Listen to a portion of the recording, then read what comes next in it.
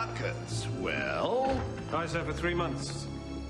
for three months. Well, For the which, as I told you, Antonio shall be bound. Antonio shall become bound. May you stead me? Will you pleasure me? Shall I your answer?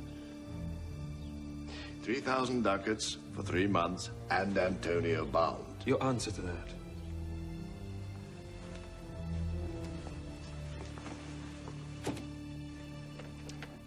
Antonio is a good man. Have you heard any imputations to the contrary? Oh, no, no, no, no. My meaning in saying he's a good man is to have you understand me that he is sufficient. Yet his means are in supposition. He hath an argosy bound to Tripolis, another to the Indies, and other ventures he hath squandered abroad. But ships are but boards, sailors but men. And then there is the peril of waters, winds, and rocks. The man is notwithstanding sufficient. Three thousand ducats. I think I may take his bond. Be assured you may. I will be assured I may, and that I may be assured, I will bethink me.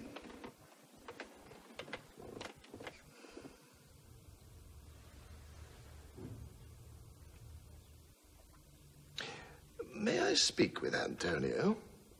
If it please you to dine with us. Yes, to smell pork.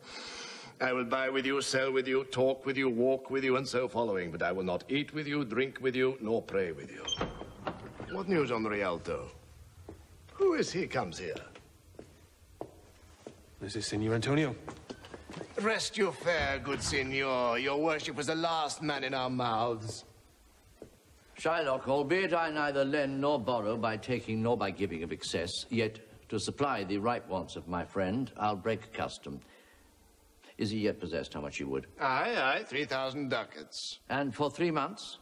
I had forgot. Three months, you told me so. Well then, your bond. And let me see. Well, Shylock, shall we be beholding to you? Signor Antonio, many a time and oft in the Rialto you have rated me about my monies and my usances.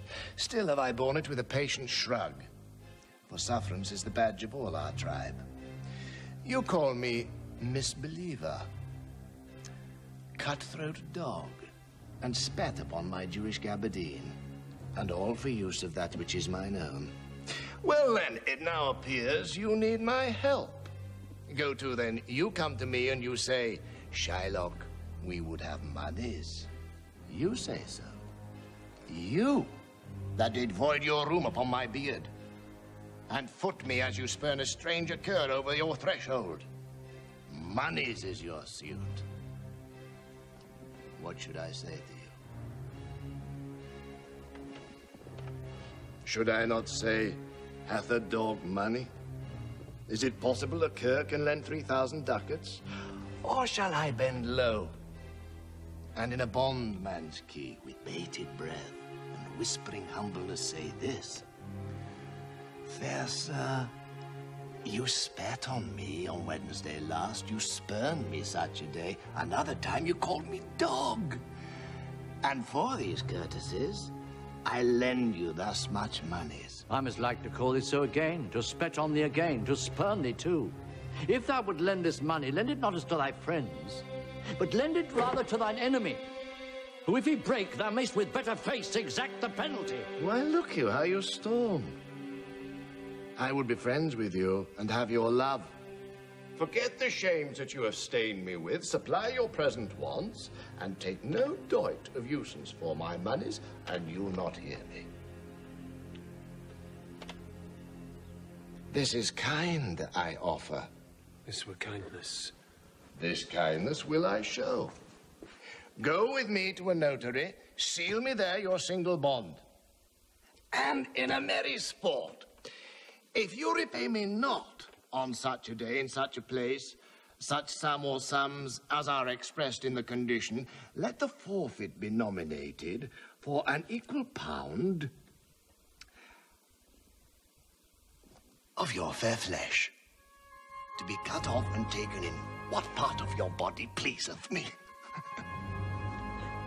Content, if faith. I'll seal to such a bond and say there is much kindness in the Jew.